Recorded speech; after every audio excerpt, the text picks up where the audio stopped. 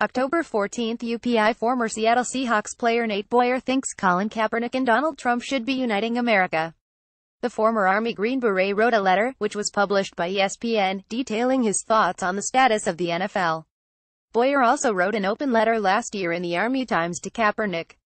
In his latest letter, Boyer starts out by saying he is hurt by the fact that Americans seem like they just hate each other.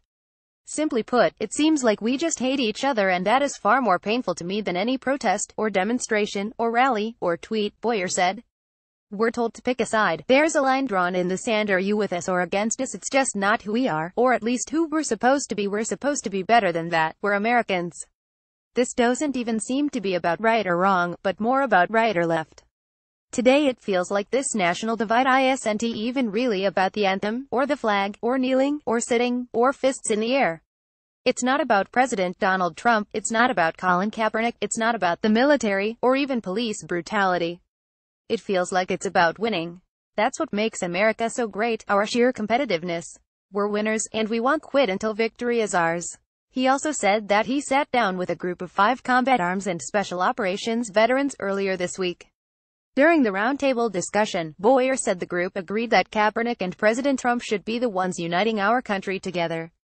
Kaepernick began his protests during the national anthem in 2016 to highlight his opposition against police brutality and racial inequality. The protests have since spread around the league. This season several NFL team owners and coaches joined the players on the sidelines by either kneeling with them or locking arms before or during the song. Boyer met with Kaepernick after the first time he decided to protest during the anthem. Kaepernick began his protests by sitting on the bench by himself during the anthem. After talking with Boyer, he began to kneel. Even though my initial reaction to your protest was one of anger, I'm trying to listen to what you're saying and why you're doing it, Boyer wrote for the Army Times in 2016. When I told my mom about this article, she cautioned me that the last thing our country needed right now was more hate. As usual, she's right. There are already plenty people fighting fire with fire, and it's just not helping anyone or anything. So I'm just going to keep listening, with an open mind. I look forward to the day you're inspired to once again stand during our national anthem. He'll be standing right there next to you. Keep on trying, De Oppresso Liber. A few days after penning the open letter to Kaepernick last year, Boyer met with the former 49ers quarterback and posted a photo on social media. Shortly after the meeting, Boyer attended a 49ers game as Kaepernick's guest. Kaepernick took a knee during the anthem, while Boyer stood next to him. Thanks for the invite brother, good talk.